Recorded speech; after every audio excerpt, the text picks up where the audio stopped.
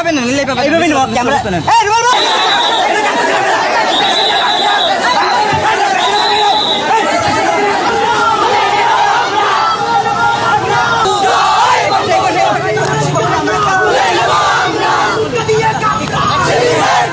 দিয়ে যাওয়ার পথে এই আক্তারের নেতৃত্বে এই জঙ্গি আক্তারের নেতৃত্বে আমাদের উপর হামলা হয়েছে। সেই হামলা আমাদের ছাত্রলীগের অনেক নেতাকর্মী আহত আমাদের ছাত্রলীগের সাংগঠনিক সম্পাদক নাজিম গুরুতর আহত অবস্থায় হসপিটালে ভর্তি রয়েছে এবং আরও অনেকেই আছে।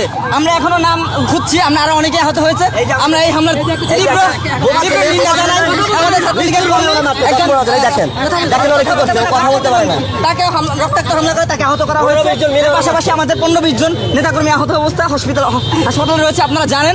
এই জঙ্গি আক্তার ও আহ, ছাত্র সংগঠনের নামে ঢাকা বিশ্ববিদ্যালয় জঙ্গি কার্যক্রম পরিচালনা করে থাকে। এটা আমরা সবাই জানি প্রশাসনও জানে। আমরা দ্রুত এই এবার এরপরে এখানে যখন মেডিকেলে নিয়ে আসা হয়েছে আমাদের নেতাকর্মীদের সেখানে তারা আবার অতর্কিত হামলা চালিয়েছে মেডিকেলে সেখানে স্বাধীনতার বিপক্ষ শক্তি জামাত শিবির চক্র এই ঢাকা মেডিকেল চক্র এসে আমাদের নেতাকর্মীদের মানে চিকিৎসারত নেতাকর্মীদের উপর আবার হামলা করেছে এবং সেই আমরা আমরা তীব্র নিন্দা জানাই এবং প্রতিবাদ জানাই আমরা সরকারকে আহ্বান জানাব আচ্ছা আমরা দেখলাম যে আমরা তাদেরকে মেরে বের করতেছি না না না না না না না না না না না না আমাদের না না না না আমাদের নেতাকর্মী ছিল আমাদের নেতাকর্মী চিকিৎসারত নেতাকর্মী ছিল তাদেরকে শিল্ড করেছে আপনারা জানেন না ভিতরে তারা গিয়ে আমাদের চিকিৎসারত যারা রয়েছিল আমাদের ছাত্রলীগের নেতাকর্মী তাদের উপর হামলা চালানো হয়েছিল। এবং তাদেরকে প্রোটেক্ট করার জন্য আমাদের নেতাকর্মী এখানে অবস্থান করছে। এবং তাদেরকে প্রোটেক্ট করে আমরা বের হয়ে এসেছি। আমরা কারোর উপর কোনো হামলা চালাই নাই বরঞ্চ আমরা সহযোগিতা করেছি প্রশাসনকে।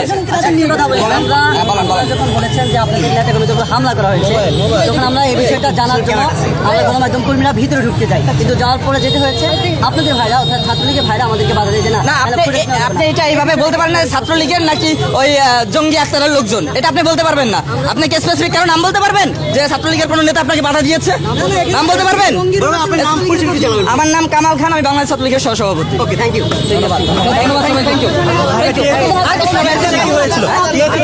আর কিছু না। এখানে আমাদের নেতাকর্মীরা জুমার নামার শেষে হেঁটে হেঁটে টিএসসি পার হচ্ছিল ওইখানে ওদের নেতাকর্মীরা আমাদের নেতাকর্মীদের দেখা মাত্রই। চড়াও হয়ে আমাদের উপর ধাওয়া করে এবং আমাদের উপর হামলা করে। অতর্কিত হামলা আমাদের নেতাকর্মীরা আহত হয়। সেই জায়গা থেকে রাজু ভাস্কর্য এটাই এটা বল। আমরা যখন ছাত্রলীগেরই নেতাদের সাথে কথা বলছিলাম তারা বলছিলেন তারা প্রথমে গিয়ে তাদের বাধা দিয়েছেন তাদের আহ, যে অনুষ্ঠান ছিল প্রোগ্রাম ছিল সেখানে। পরে তারা বাধা না শোনায় পরবর্তীবার গিয়ে তারা যখন কথা বলতে চান তখন তারা হামলা এবং পাল্টা হামলার শিকার হন। সেখানে আসলে দুই দলেরই অংশগ্রহণ আছে বলে আমাদের মানে প্রথমে কথা বলে আমরা জেনেছি। আচ্ছা ধন্যবাদ। আপনারা অবগত আছেন। যে আমাদের ছাত্রলীগের ভাইরা টিএসসিতে অবস্থান করছিল, সেখান থেকে যখন তাদের এই জঙ্গি কার্যক্রম দেখল, তখন তারা ঘটনার বিবরণ জানতে চেয়েছিল এবং এই তাদের যে আজকের কর্মসূচি, আজকে যে তারা টিএসসিতে চেয়ার পেতে জায়গা দখল করে তারা যে কর্মসূচি করছে, এটা তারা ঢাকা বিশ্ববিদ্যালয় থেকে অনুমোদন নেয় নাই।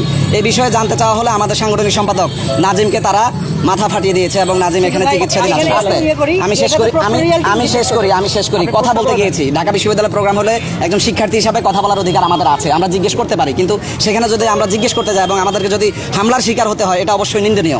আক্তারের নেতৃত্বে সর্বপ্রথম হামলা হয়েছে এবং সেখানে আমাদের নাজিম সহ ঢাকা কলেজের আমাদের দুজন ছাত্রলীগের ভাই গুরুতর আহত হয়েছে। আমরা তাদেরকে নিয়ে মেডিকেলে আসি।